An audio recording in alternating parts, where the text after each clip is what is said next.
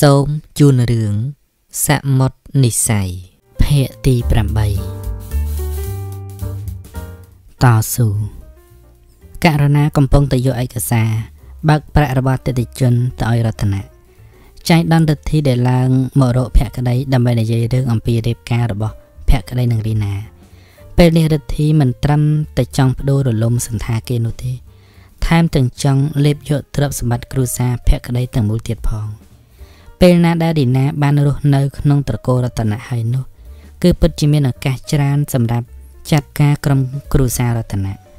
ស្រាប់តែរទ្ធីភ្ញាក់និងសម្រស់របស់ករណា គេធ្លាប់ឃើញវតីហើយទទួលស្គាល់ថា នាងជានារីស្រស់ស្អាតប្លែកពីរីណា ដំបងគិតថាចង់តាក់ទងវតីទុកសម្រាប់ធ្វើជាស្រីលេងសើចដែរតែខ្លាចរីណាខឹងធ្វើឲ្យបែកកម្រងការអស់ ទៅមិនទាន់ហ៊ានប្រថុយឥឡូវដល់មកឃើញករណាទៀតធ្វើអេរធីរកអ្វីមកប្រដូចនឹងសម្រស់របស់ករណាមិនបានឡើយករណាដែលមកដល់មុខបន្ទប់របស់រតនៈឃើញរិទ្ធីឈរមើលនាងភ្លឹកបែបនេះស្រស់ស្រីញញឹមសួរគេតងឹងឆ្ងល់ពីព្រោះករណាមិនបាន ស្គាល់រិទ្ធីថាជានរណានោះទេលោកមករកលោកប្រធានមែនទេគាត់មិនទាន់មកដល់ទេសូមអញ្ជើញលោកអង្គុយរងចាំនៅបន្ទប់ទទួលភ្ញៀវសិនទៅ បន្តិចទៀតគាត់នឹងមកដល់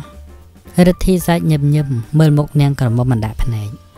ខ្ញុំទៅអង្គុយចាំខាងក្នុងក៏បាន ពីព្រោះខ្ញុំមិនមែនជាអ្នកដតីនោះទេករណាងក់ក្បាលតិចតិចពេលឮថារិទ្ធីមិនមែនជាអ្នកដតីប្រហែលជាសាច់ញាតិរបស់រតនៈហើយតែនាងមិនពេញចិត្តនឹងកែវភ្នែកព្រាននារីរបស់រិទ្ធី ដែលសម្លឹងមកនាងយ៉ាងនេះសោះស្រះស្រីរុញទ្វារចូលទៅរិទ្ធីលួចញញឹមតាមមើលករណាពីក្រោយ គេអង្គុយនៅក្នុងបន្ទប់របស់រតនៈជាមួយករណា នាងក្រមុំធ្វើកិច្ចការរបស់នាងដោយមិនចាប់អារម្មណ៍ពីរទ្ធីឡើយធ្វើឲ្យរទ្ធីរត់តែពេញចិត្តនឹងនាងក្រមុំធ្វើឡើងខណៈនោះរតនៈរិញទ្វាចូលមកជាមួយភក្តី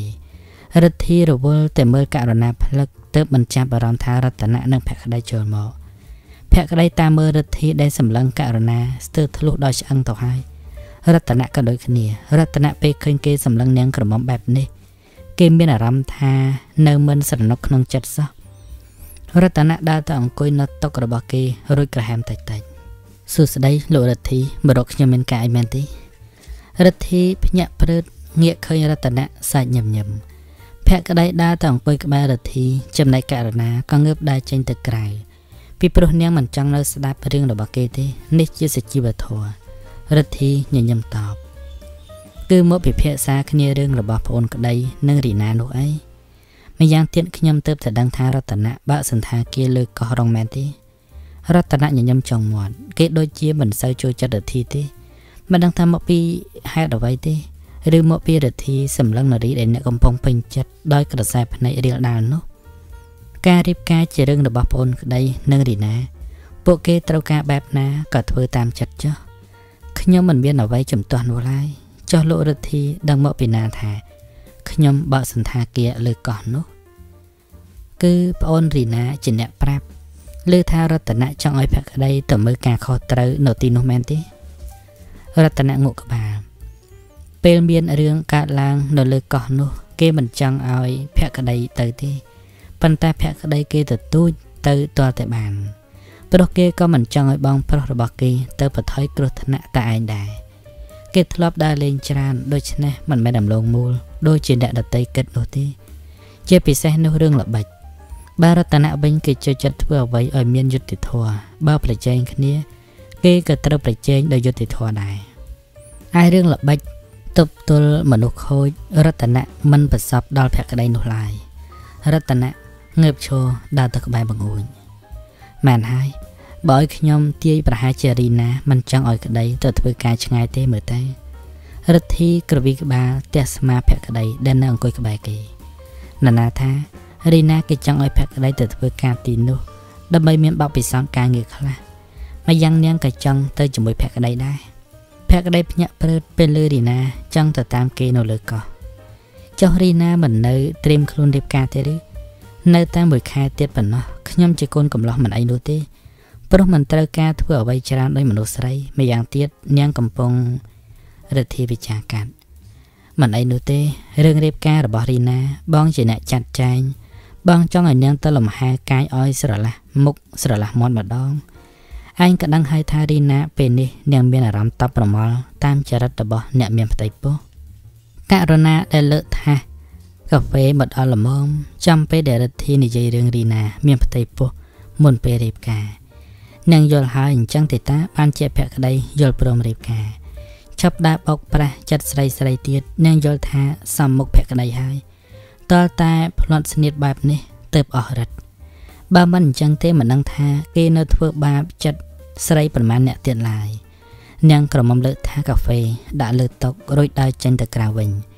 មិនចូលមកបន្ទប់នេះទៀតទេនាងក៏មិនចូលចិត្តក្រសែភ្នែកដរិទ្ធីសម្លឹងមកនាងដែរ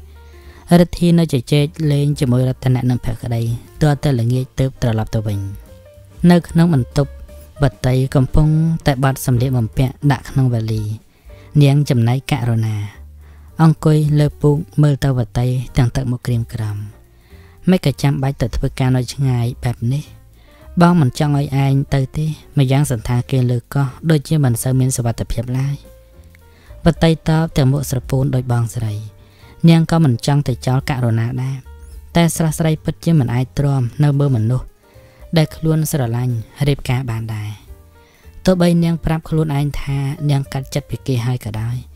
តែក្តីស្នេហាមិនមែនកាត់ងាយងាយដូចជាកាត់នំញ៉ាំនោះទេខ្ញុំមិនចង់និយាយអ្វីច្រើនទេប៉ុន្តែបងដឹងហើយខ្ញុំត្រូវការទៅរកកន្លែងដែលមិនមានរូបគេពេលណាខ្ញុំជឿជាក់ថារូបប្រុសម្នាក់នោះគ្មានក្នុងខួរក្បាលខ្ញុំទៀត ខ្ញុំនឹងត្រឡប់មកវិញចំណែករឿងដែលបងប្រាប់ថាសន្តាគាររបស់ពិគុណមិនមានសុវត្ថិភាពនោះបងកុំបារម្ភអីខ្ញុំអាចការពារខ្លួនឯងបានករណាមិនដឹងថាខាត់បតីយ៉ាងណាទេមានតែសម្របទៅតាមចិត្តរបស់ប្អូនព្រោះនាងយល់ពីចិត្តរបស់បតីច្បាស់ណាស់ករណាក៏មិនដឹងរឿងដែរភក្តីទៅធ្វើការនៅលើកោះនោះដែរបើដឹងនាងប្រាប់បតីច្បាស់ជាបតីមិនទៅធ្វើការនៅលើកោះនោះឡើយ រាត្រីនេះខ្យល់ផាត់រំភើយមកប៉ះកាយាធ្វើឲ្យស្រឡះដល់ក្នុងចិត្តដែលកំពុងស្មុគស្មាញរបស់បតីព្រោះថាស្អែកនាងចាក់ចេញពីកន្លែងនេះហើយចាក់ចេញពីបងស្រីដែលនាងស្រឡាញ់តែក៏មិនអាចគេចផុតពីស្រមោលឈឺចាប់បានដែររូបភាពដែលរីណាញញឹមចំអកឲ្យនាងនិងភក្តីដែលប្រមាថលើរូបនាងរាប់ពាក្យសម្ដីរបស់ភក្តីធ្វើឲ្យវតីដូច ត្រូវគេយកកំបិតមកចាក់ចំកណ្ដាលដើមទ្រូងចុកចាប់រកអ្វីថ្លៃមិនបានវតីឈរមើលព្រះច័ន្ទនៅយ៉រមកផ្ទះពេលនេះកែភ្នែកមួយគូ កំពុងសម្លឹងមើលមកស្រស់ស្រីសោភាយ៉ាងស្ងៀមស្ងាត់កែភ្នែកនេះពោពេញដោយភាពក្រៀមក្រំនិងបបដិសារីវតីមានអារម្មណ៍ថាមានមនុស្សកំពុងមើលមកនាងធីតាសោភាក៏ងាករកមើលភ្លាមតែមិនឃើញអ្វី ទើបនាងក្រមុំចូលទៅសម្រាកព្រឹកស្អែកនាងត្រូវចេញទៅជាមួយពីគុណហើយភក្តីចេញពីកន្លែងពូនមក ការពិតគេនឹកដល់វតីគ្រប់ពេល តែមកពីគេជាមនុស្សចិត្តរឹង មិនព្រមទទួលស្គាល់ចិត្តខ្លួនឯងឡើយទោះបីជាដឹងថាធ្វើបែបនេះគឺប្រៀបដូចជាធ្វើបាបខ្លួនឯងក៏ដោយម្យ៉ាងគេមិនចង់ឲ្យគេមើលងាយថាខ្លួនជាប្រុសដែលល្ងងដឹងហើយថាវតីជាស្រីបែបណាក៏នៅតែមិនព្រមកាត់ចិត្ត អ្នកកំឡោះចង់មើលនាងជាលើកចុងក្រោយព្រោះមិនប្រហែលថ្ងៃទៀតគេក៏ទៅធ្វើការលើកកោះហើយខែក្រោយគេក៏រៀបការទៀតបើភក្តីដឹងថាពេលនេះព្រមលិខិតកំពុងតែកំណត់ទីដៅសម្រាប់អ្នកតំពីឲ្យជួបគ្នា ដោយមិនចាំបាច់ណាត់ទុកឡើយតាព្រមលិខិតកំពុងតែលោលេងជាមួយនឹងអ្នកទេដឹងបានជា កំណត់ឲ្យពួកគេទៅភ្ជាប់និស័យជាថ្មីម្ដងទៀតនៅដែនសមុទ្រទៅវិញ ទោះបីជាជួបគ្នាក៏គ្មានន័យដែរដោយសារអ្វីអ្វីជ្រុលហួសអស់ទៅហើយមិនអាចបកក្រោយបានវិញឡើយប៉ុន្តែបើពួកគេទាំងពីរព្រមនិយាយដោយបេះដូងនិងហេតុផលនោះជឿជាក់ថាមិនមានរឿងយល់ច្រឡំកើតឡើងទៀតទេ នេះក៏មកពីពួកគេមានអ្នកមាត់រឹងមិនស្ដាប់ពីហេតុផលឲ្យច្បាស់ទើបធ្វើឲ្យមានវបដិសារីមិនចេះឈប់ឈរបែបនេះទោះបីជាវាសនាចង់ជួយយ៉ាងណា ក៏មិនអាចឈ្នះលើភាពមានអ្នករបស់មនុស្សបានឡើយវតីចេញដំណើរតាំងពីព្រលឹមជាមួយភិគុណពេលវតីចេញទៅករណាដូចជាហេងហាងរកថាមិនត្រូវនាងមិនធ្លាប់បែកពីប្អូនស្រីទេទៅធ្វើឲ្យនាងទឹកទឹកភ្នែកមិនបានវតីក៏មិនចង់ទៅចោលករុណាដែរតែអ្វីដែលនាងសម្រេចចិត្តហើយมันការប្រែដាច់ខាតពីព្រោះនាងមិនចង់នៅឃើញភក្តីរៀបការទេ នៅក្នុងបន្ទប់ធ្វើការករុណាអង្គុយក្រៀមក្រំ ទឹកមុខស្រពាប់ស្រពូនរតនៈចេះទៅលួចមើលវងភ័ក្រដែលស្ងួតស្ងប់របស់ករណាទាំងងឿងឆ្ងល់អ្នកកំឡោះស្គាល់ករណាយូរហើយប៉ុន្តែឃើញនាងពិបាកចិត្តបែបនេះឡើយមានរឹបសង្ហាដាក់បិចចុះងើបដើរមកក្បែរនាងក្រមុំឧទាមតិចតិចថាពិបាកចិត្តរឿងអ្វីមិនក៏អង្គុយធ្វើមុខស្ងួតបែបនេះ មានអាវិភ្ញាក់ព្រឺត ងាកឃើញរតនៈនៅឈរក្បែរនាងស្រស់ស្រីត្រឹងគិតបន្តិចទៅតបថា គឺពិបាកចិត្តរឿងប្អូនស្រី នាងទៅធ្វើការជាមួយលោកភិគុណនៅលើកោះហើយខ្ញុំខាត់នាងយ៉ាងណាក៏នាងព្រមមិនស្ដាប់ដែរខ្ញុំដឹងថាដែលនាងចេញទៅព្រោះនាងមិនចង់ប្រឈមមុខជាមួយការពិតដែលឈឺចាប់នោះទេធីតាសោភានិយាយត្រឹមនេះក៏នៅស្ងៀម តែរតនៈយល់សម្ដីរបស់ករណា ស្រាប់តែរតនៈភ្ញាក់ព្រឺតសូករណាបញ្ជាក់ម្ដងទៀតថាម៉េចវតីទៅធ្វើការនៅលើកោះជាមួយភិគុណស្រះស្ដីងក់ក្បាលតិចតិចមើលមុខរតនៈទៅងើឆ្ងល់ចាហេតុអ្វីក៏លោកប្រធានធ្វើទឹកមុខភ្ញាក់ផ្អើលបែបនេះ គឺភក្តីគេក៏ទៅធ្វើការនៅទីនោះដែរខ្ញុំហាមគេយ៉ាងណាក៏គេមិនស្ដាប់ឬមួយក៏គេដឹងថាវតីទៅធ្វើការនៅទីនោះ ករណបាក់ផ្នែកធំធំមើលមុខរតនៈនាងក្រមុំក្រវីក្បាលមិនអាចនោះទេព្រោះវតីនាងប្រាប់ខ្ញុំតែម្នាក់ប៉ុណ្ណោះហើយនាងទៅតែប្រាប់ខ្ញុំពេលចេញដំណើរដែររឿងអ្វីដែលភក្តីគេដឹងនោះទោះបីគេដឹងក៏គេគ្មានអ្វីត្រូវទៅតាមវតីដែរព្រោះគេចិត្តរៀបការទៅហើយម្យ៉ាងខ្ញុំដឹងថាភក្តីស្អប់អូនស្រីខ្ញុំខ្លាំងណាស់រតនសាច់ញឹមញឹម នាងគិតស្មានថាភក្តីគេរៀបការដោយក្តីស្រឡាញ់មែនទេពេលខ្លះអ្វីដែលយើងមើលឃើញមិនដូចអ្វីដែលយើងគិតគ្រប់ពេលឡើយពួកយើងមិននៅក្នុងចិត្តរបស់ពួកគេធ្វើមិននឹងដឹងថា គេស្អប់ឬក៏ស្រឡាញ់ខ្ញុំស្គាល់ភក្តីច្បាស់ណាស់គេជាមនុស្សមាត់រឹងតែចិត្តទន់ពីមុនខ្ញុំទទួលស្គាល់ថាគេជាប្រសាវ៉ាបំផុត តែមួយរយៈក្រោយមកនេះ ពេលគេបែកពីវតីខ្ញុំឃើញថា ភក្តីកែប្រែច្រើនណាស់គេមិនមែនដើរលេងសប្បាយដូចមុនទេ គេក្រៀមក្រំគ្រប់ពេលករណាញញឹមចង់មាត់ខ្ញុំមិនជឿនោះទេ លោកជាបងប្អូនគ្នាត្រូវតែការពារគ្នាបែបនេះហើយបើគេស្រឡាញ់វតីហេតុអ្វីគេធ្វើឲ្យវតីឈឺចាប់បែបនេះនឹងឬហៅថាស្រឡាញ់នោះរតនៈដើរទៅអង្គុយលើសាឡុងដកដង្ហើមធំទាំងមុខស្ងួតខ្ញុំដឹងថានាងមិនជឿអ្វីដែលខ្ញុំនិយាយនោះទេ តែខ្ញុំជឿលើនាងថាជាមនុស្សស្រីដែលមានហេតុផលបើនាងដឹងថាភក្តីធ្លាប់ខកចិត្តពីមុនមកនោះនាងនឹងយល់ថាហេតុអ្វីគេខ្លាចជាបែបនេះហើយគេប្រាប់ខ្ញុំអស់ហើយរឿងរវាងគេនិងវតីប៉ុន្តែខ្ញុំមិនទាន់យល់ច្បាស់ទេខ្ញុំរកពេលនិយាយជាមួយនាងដែរដោយមួយរយៈនេះរវល់ពេកទៅមិនបានសួរករណាតាមមើលមុខរតនៈទាំងឆ្ងល់សួររឿងអ្វីតើ គឺភក្តីប្រាប់ថាវតីក្បត់ចិត្តគេ មានតកតងជាមួយមនុស្សប្រុសជាច្រើននាក់ហើយបានធ្វើឲ្យមនុស្សប្រុសម្នាក់ឈឺចិត្តរហូតចង់សម្លាប់ខ្លួនទៀតផងភក្តីមានតែរូបថតទៀតតែខ្ញុំមិនជឿថាវតីជាស្រីបែបនោះទេទោះបីជាខ្ញុំមិនបានស្គាល់វតីច្បាស់តែខ្ញុំជឿលើគំនិតខ្លួនឯងករណាបើកភ្នែកធំធំដោយភ្ញាក់ផ្អើលស្រែកផ្លាត់មាត់មិនពិតទេប្រកាសជាមានអ្នកណាចង់ធ្វើបាបវតីហើយ ខ្ញុំក៏យល់បែបនោះដែរចាស់ប្អូនស្រីអ្នកនាងធ្លាប់មានសត្រូវទេខ្ញុំត្រូវតែស៊ើបឲ្យបានដឹងថាតើអ្នកណាជាអ្នកបង្កើតរឿងនេះឡើងហើយគេមានអំណងអ្វីទៅបើយើងដឹងអ្នកដែលយករូបថតឲ្យភក្តីនោះ យើងប្រកាសជាដឹងរឿងមិនខាន ជាពិសេសបរោះដែលភក្តីអះអាងថាជាសង្សាររបស់វតីដែលចង់សម្លាប់ខ្លួននោះករណាប្រែទឹកមុខត្រឹងគិតខ្ញុំដូចជានឹកមិនឃើញទេថា អ្នកណាជាសត្រូវរបស់វតីនោះ ព្រោះវតីនាងមិនសូវស្គាល់អ្នកណាឡើយបើមិត្តភ័ក្តិមានតិចណាស់តែពួកយើងក៏មិនធ្លាប់ធ្វើអ្នកណាទាស់ចិត្តដែររតនៈដកដង្ហើមធំបើអញ្ចឹងមានតែទៅតាមដំណើរទៅចុះពីព្រោះពួកយើងគ្មានតម្រុយអ្វីសម្រាប់តាមស៊ើបនោះទេប៉ុន្តែខ្ញុំយល់ថាមានតែខាងប្អូនប្រុសរបស់លោកទេ ដែលមានសត្រូវច្រើននោះព្រោះគេធ្វើឲ្យស្រីស្រីជាច្រើនអ្នកយំដោយសារគេទៅគេចង់ធ្វើបាបឲ្យខូចចិត្ត វិញបែបនេះទោះជាសត្រូវខាងណាក៏ខ្ញុំត្រូវតែរកការពិតឲ្យឃើញដែរខ្ញុំត្រូវតែបញ្ជាក់ពីភាពបរិសុទ្ធរបស់ប្អូនស្រីខ្ញុំខណៈនោះទូរស័ព្ទរបស់រតនៈរੂឡើងអ្នកកំឡោះប្រញាប់លើកភ្លាមអាឡូខ្ញុំរតនៈនិយាយសំឡេងតបពីខ្សែម្ខាងទៀតខ្ញុំគឺផែន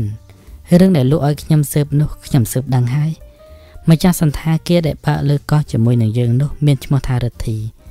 តែមិនដឹងថាមានត្រកូលអ្វីនោះទេខ្ញុំឮតែពួកបុគ្គលិកនៅទីនោះហៅថាលោករិទ្ធីរតនៈជ្រុញចិញ្ចាំបន្តិចបានហើយខ្ញុំអរគុណខ្លាំងណាស់ផែនដែលខំតាមស៊ើបឲ្យរតនៈបិទទូរស័ព្ទរួចងាកមើលមុខករុណាខ្ញុំដឹងហើយថា ពួកយើងត្រូវស៊ើបរឿងនេះពីនរណាករុណាមើលមុខរតនៈវិញទាំងឆ្ងល់ស៊ើបពីនរណាទៅលោកក៏មកនិយាយអូតខុសរឿងនោះរតនៈញញឹមចុងមាត់ ដោយទឹកមុខជឿជាក់ព្រោះគេជាមនុស្សដែលគិតហើយគឺមិនណេះខុសឡើយគ្រាន់តែដឹងថាសន្តាគេនោះជារបស់រដ្ឋីអ្នកក៏អាចដឹងបានខ្លះហើយថានរណាជាអ្នកសាងហេតុការណ៍នេះឡើងសូម្បីតែរឿងគម្រាមបិទសន្តាគារក៏រតនៈអាចយល់បានខ្លះថា ជាស្នាដៃនរណាគ្រាន់តែពេលនេះ គេគ្មានភ័ស្តុតាងប៉ុណ្ណោះអ្នកសង្ស័យលើរដ្ឋីតាំងពីថ្ងៃដែលរដ្ឋីនិងរីណាបានចូលមកក្នុងផ្ទះរបស់អ្នកម្លេះ ទោះបីរដ្ឋីនិងរីណាខំលាក់យ៉ាងណាក៏មិនអាចលាក់ចិត្តពីភ្នែកដ៏ឆ្លាតវៃរបស់រតនៈបានដែរពីមុនមាននប់សង្ហាគ្រាន់តែឆ្ងល់ប៉ុណ្ណោះថា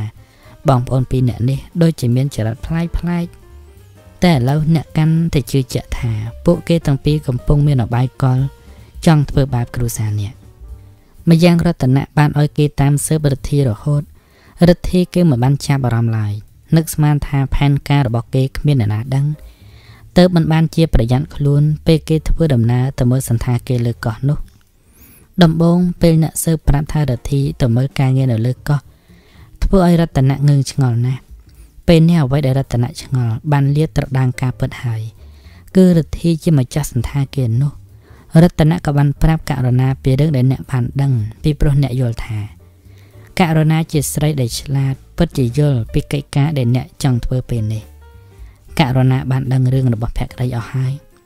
នាងយល់ច្បាស់ពីចិត្តដែលត្រូវគេក្បត់ដូច្នេះពេលនេះ នាងមិនខឹងស្អប់ភក្តីទៀតទេ នាងត្រូវតែរួមដៃគ្នាជាមួយរតនៈដើម្បីឲ្យប្អូនទាំងពីររបស់ពួកគេបានយល់ចិត្តគ្នាវិញព្រោះពួកគេសុទ្ធតែស្រឡាញ់គ្នាទាំងសងខាងបើកុំតែមានគេ សាងហេតុការបំបីបំបាក់ពួកគេដើម្បីផលប្រយោជន៍របស់ពួកមនុស្សអាត្មានិយមដោយរដ្ឋីនិងរីណាននោះ ភក្តីនិងវតីពិតជារស់នៅដោយក្តីសុខបាត់ទៅហើយរតនៈនិងករុណាត្រៀមខ្លួនទៅកោះដែរដើម្បីរៀបចំផែនការវេកមុខមនុស្សអាក្រក់ប៉ុន្តែរតនៈមិនឲ្យករុណានិយាយប្រាប់អ្នកណាទាំងអស់សម្បីតែវតីគេចង់ឲ្យកិច្ចការបានសម្រេចសិនទើបប្រាប់ភក្តីនិងវតីតាមក្រោយម្យ៉ាងគេចង់រកភ័ស្តុតាងដែលចោតប្រកាន់វតីឲ្យភក្តី ជឿជាក់សិន គឺដើម្បីបញ្ជាក់ពីភាពស្អាតស្អំរបស់វតី